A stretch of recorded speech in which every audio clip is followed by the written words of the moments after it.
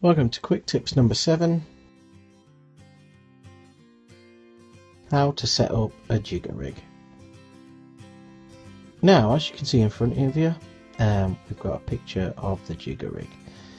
Now, when you're setting this up, what you want to do is you want to put a float stop onto the line first, then the jigga float, then another float stop, and then two number 8 or three number 8 shot underneath the next float stop as you can see there's a, there's a couple of different diagrams. One with um, on the left hand side the the jigga float. That's that's the one where it's set around about six inch. And what you do is you lift your pole right out until it hits the shot and then you lower it in. And what you do is you lower it down and keep lowering it down on keeping a tight line until you get to the the float stop uh, which is on the second diagram at the top. And you see the float stop coming down and you can set your jigga rig from anything two, three, four foot if you wanted to. Um, but you've always got to keep a tight line so it's like a bolt rig effect that as soon as you get a bite or as soon as you get a fish pulling it it'll pull the elastic out. Um, and you've got you know you've got your fish on.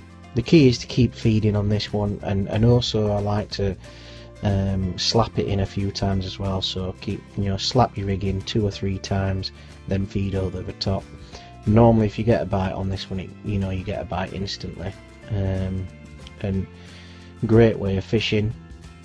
I mean the hook uh, I'd like to use a 18 hook B911 extra strong on a band. Um, now with the band you can either have banded cast you can put banded maggot on but um, my favourite is to use the banded pellet um, and you can slap that in as well without losing it. So I always like to fish it on a band please like and share this video. If you've got any comments, just leave them below and I'll get back to you.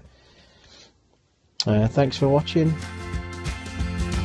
and I'll see you soon.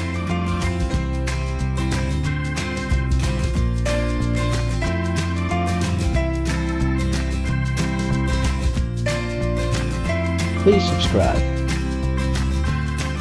If you'd like to advertise on this page, just drop us a line at baguptv at gmail.com.